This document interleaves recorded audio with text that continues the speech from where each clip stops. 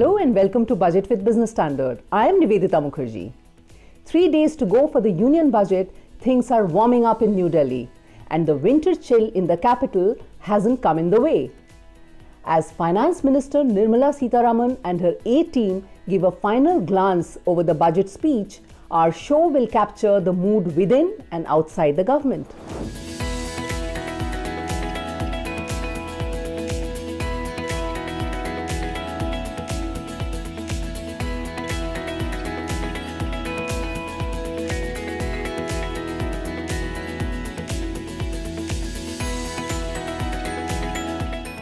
We begin with an authoritative report on India's investment trajectory. Even as there are early signs of private investment recovery, will this trend continue? And will the budget help revive public and private investment? My colleague Asit Ranjan Mishra's report has quite a few answers.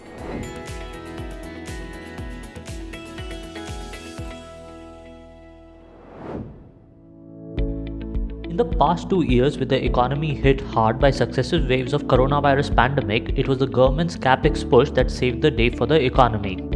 This was particularly crucial as capacity utilization had plummeted and private sector was reluctant to make any fresh investments. And now, any hope of early recovery in private investment has also been dashed by a third wave of the pandemic. Latest set of high frequency data clearly depicts this vulnerability. For example, even before the Omicron variant caused any major damage in India, growth in 8 infrastructure sectors dipped to a 9 month low at 3.1% in November. And PMI manufacturing slumped to a 3 month low in December at 55.5. Sitharaman, who will present her budget in the thick of the third wave, is expected to stay on course and push for at least 6.5 trillion rupees in public expenditure for FY23, compared with 5.5 trillion in FY22. However, the sluggish trend in capex so far, with only 49% utilization by November last year, despite a 26% increase in allocation for FY22, has raised concerns amongst observers. The government is expected to continue to lay emphasis on national infrastructure pipeline and national monetization plan in the upcoming budget to both revive investment and augment government revenues. The Gati Shakti panel is expected to make the process of identification and monitoring of the infrastructure project under the National Infrastructure Pipeline more efficient and smooth. The Finance Minister is also expected to announce further fund infusion in the National Investment in Infrastructure Fund and National Bank for financing infrastructure and development to bridge the funding gap in the infrastructure space. With REITs and InvITs gaining popularity as a vehicle of investment in assets in the infrastructure sector, even for PSUs, the government may incentivize these routes of investment. It may also reduce the holding period in REITs and InvITs to be classified as long term investment from 36 months to 12 months on a par with listed securities. I think India needs an independent autonomous organization to handle PPPs. PPPs can't be carried on the shoulder of DA and Niti Aayog because they work differently and they are structured differently. We need professionalism, we need uh, good quality independent expert. We also need flexibility so that 50% at least should be with the private sector. Now we have Ayushman Bharat scheme as an insurance scheme and now we should leverage it to create uh, hospital infrastructure in tier 2 and tier 3 cities uh, using Ayushman Bharat insurance scheme. Same thing is on education and skills also. We should place create world class skill and education institute on PPPs to get the best advantage of India demographic dividend. In terms of uh, power, uh, I think the PLI scheme has been introduced in many of the renewable energy sector, including solar, etc but there is a problem in the supply chain uh, and we need to give some PLIs and GST concession on supply chain also on entire value chain and suppliers uh, base for these renewables so that we can compete with many countries which are really dumping into India. Thank you. Given the high demand for digital infrastructure to deliver healthcare and education in the virtual mode, the government may also encourage private players to join hands with it to roll out broadband connectivity in the hinterland. The union budget may also announce measures to strengthen the public private partnership dispute resolution mechanism, uniform PPP institutional framework, easier terms for infrastructure companies accessing bond markets, and tax ops As Sitharaman presents her fourth budget on February 1st, corporate India will keenly watch what more she does to unleash the animal spirits in the economy. Union Finance Minister Nirmala Sitharaman ji has given us four N's over the last 12 to 18 months in the field of infrastructure, the National Infrastructure Pipeline, the National Monetization Pipeline, the National Bank for Financing Infrastructure and Development, and the National Program and Policy Management Framework for building capacities that go into creating such infrastructure. So, what to do is answered, how to finance it is answered, how to get the whole thing done. And four things that we would like to see in the budget as focus. Number one, the four C's. Number one is coordination. Number two is capacity. Number three is contracts. And number four is confidence. Coordination between government of India, government of states, and government of cities where most of the infrastructure is going to be built. Capacity.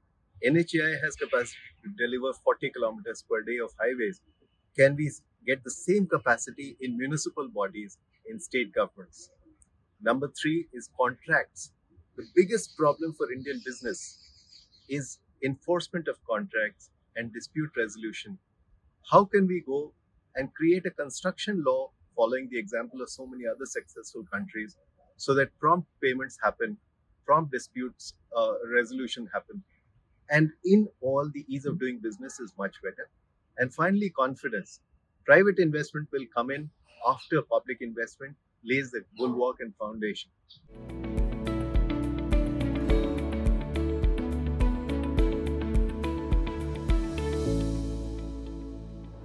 The FM's message to India Inc. has been to show its animal spirits. The budget could show the way through public investments. Moving on to the next segment, our guest Amish Shah, Managing Director and Head of India Research at Bank of America, speaks to Puneet Wadhwa on wide-ranging issues. From the implications of any interest rate hike by US Federal Reserve to demand stimulus in the budget. Listen in.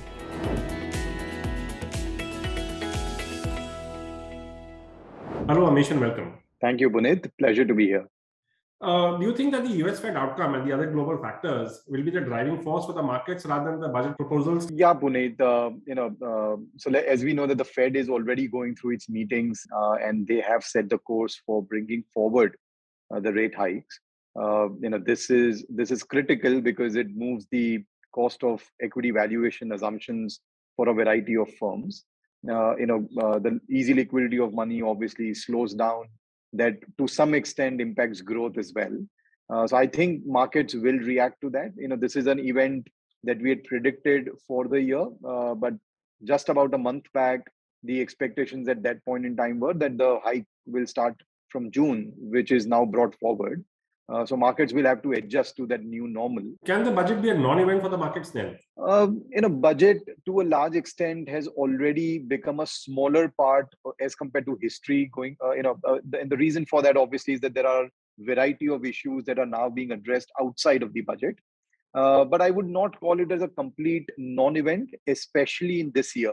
This is the budget which is coming at a time where the government cannot work with higher fiscal deficit. There has to be some sort of fiscal consolidation because COVID related issues are now broadly getting over. Along with the reduced fiscal deficit, there is also a clamor for demand stimulus, which is which the government has given in measured doses so far. So, what kind of a fiscal deficit would the market be comfortable with? We are expecting a 100 basis point contraction in fiscal deficit uh, to go down from 6.8 to 5.8. Uh, that number, I would say, uh, you know, is in line to slight positive versus uh, consensus expectations. Broadly, uh, investors, basis our conversation, are expecting at least 50, 60 basis points of uh, fiscal deficit contraction. So, you know, 100 basis point will be will be a positive news. Privatization, funds for public sector banks, capex push, all these are known uh, factors. Where, where can one expect some surprise? So demand stimulus, I think, is more of a uh, more of an ask right now, uh, but it is not like a given that the government would be able to provide. Uh, we do think uh, that uh, the government may be able to provide around 20 billion dollars of stimulus. You know, 11 billion dollars coming in the form of tax cuts and $9 billion coming in the form of subsidies. Uh, but more than that, the other uh, surprise uh, or the positive that I would take along is we do think that government will continue to improve the transparency of the budget, and and there is a there is a possibility that the demand stimulus comes in the form of tax reforms uh, you know which is something that the government wants to do. They when they came up with the second option of uh, filing income taxes without deductions uh, you know if they work on those lines that will be definitely be considered as a positive because any any uh, demand stimulus to subsidies uh, is going to be considered more populist but any demand stimulus, stimulus through tax reforms uh, achieves both the goals of given uh, of giving a stimulus plus implementing reforms. The rural um, economy, uh, the rural India, uh, continues to you know be not on a, as strong a footing as it was say a year ago. Do you think that the demand will actually come through? So. Uh, you know versus the expectations that we had built in i think there is a need to readjust that uh, uh you know that downwards so let's say if i were to look at consumer stocks i think there is a need that earnings will get downgraded but you know, from an economic momentum perspective, you know, if the government continues with these subsidies or the tax cuts along with the capex push, uh, you know, I think that helps. You know, because if you think about, you know, while it sounds like capex does not benefit the rural India, uh, you know, uh, there are plenty of rural-focused infrastructure schemes that the government works on, and that does benefit. Schemes like Manrega or Pradhan Mantri Awas Yojana, which gives affordable housing while the government provides for that as a revenue expenditure, the end result of these spends leads to capital creation, right? Uh, because if the government gives CLSS or credit linked subsidy scheme uh, for PMAY housing, uh, you know somebody's buying a house on the back of that, or Manrega spends leads to some rural infrastructure creating on the back of that. So I think that to some extent, even the capex uh, is uh, going to help recover or revive the rural economy over and above the obvious uh, subsidy driven measures. What are the three or five sectors, according to you, that will benefit most from the budget proposals? I think purely from the budget, uh, you know, consumption, financials, industrials, these are the three sectors that benefit. Thanks, Amish, for joining us today. Pleasure. Thank you. Amish Shah believes demand stimulus in the budget may come in the form of tax reforms, easy money flow will slow, and that markets will have to adjust to the new normal. Also, the budget may focus on creating rural infrastructure, he says. And now changing tracks. Will this budget continue with the railway infrastructure plans? Dvesh Mishra finds out.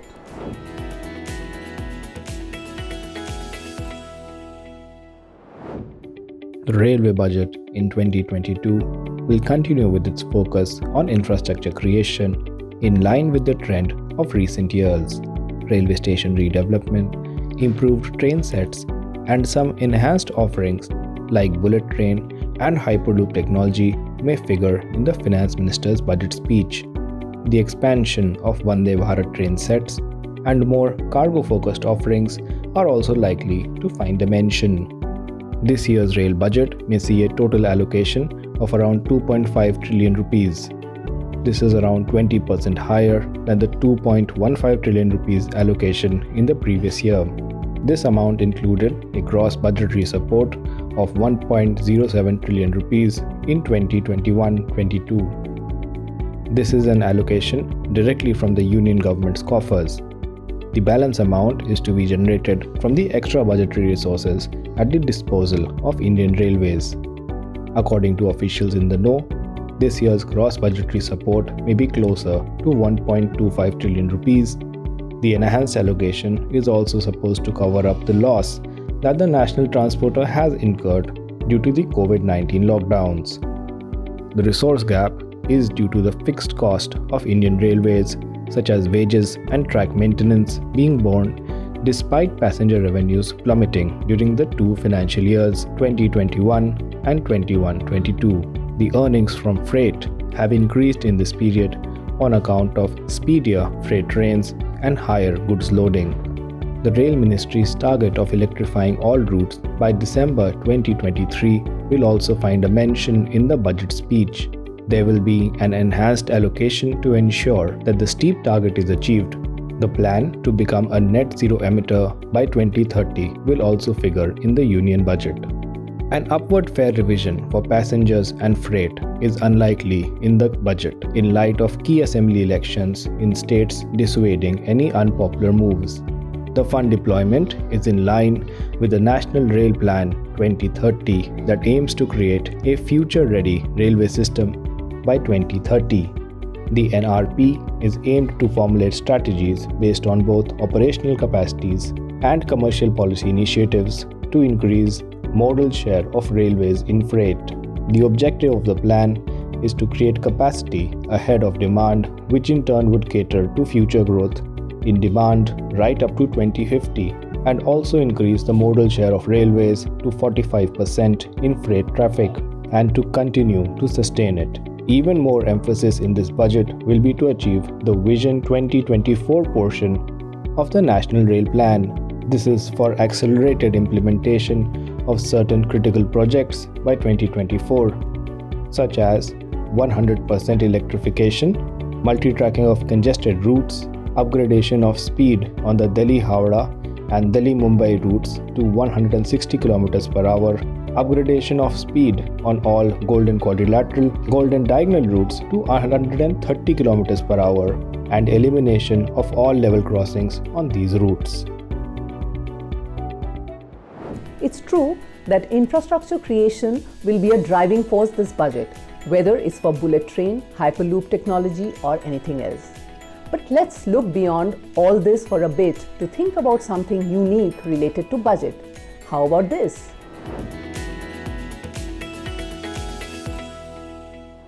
The 1997 Union Budget, also known as the Dream Budget because of its progressive taxation measures, was presented by P. Chidambaram on February 28th of that year as part of the United Front government led by then Prime Minister H.D. Devegowda. As some of our viewers would remember, it was a shaky coalition propped up by outside support from the Congress. In the weeks following the budget, there was a political turmoil as the Congress, then led by Sitaram Kesri, withdrew support and the Devegowda government collapsed in April 1997. However, coalition partners were keen to avoid midterm elections. A consensus was reached and the Congress was given a greater say in the coalition even though it was not part of the government. It decided to support another United Front government this time with the then External Affairs Minister Inder Kumar Gujral SPM. By the time the budget was passed in May 1997, there was a new government. It was the only time in India's history that a budget was tabled by a government led by one Prime Minister and passed by a government led by another. Some more history here this time associated with former President Pranab Mukherjee. Mukherjee is the only finance minister so far to have presented an interim budget before general elections and then a full budget immediately after. He did so in 2009 as Manmohan Singh government came back to power. You might think there would be more instances of the same FM presenting an interim budget and a full budget in the same year. After all, many governments have returned to power at the centre. But no, except in Mukherjee's case once, all governments retaining power have incidentally appointed a new FM to present the full budget. The last such example was of Piyush Goyal presenting the 2019 interim budget and then Nirmala Sitharaman presenting the full budget. Another unique practice that became part of the budget tradition is the halwa ceremony to mark the annual process. This time, halwa has been replaced with mithai in keeping with the COVID 19 protocol. That's all for today. See you on the budget day with an exciting show. Don't miss it for anything.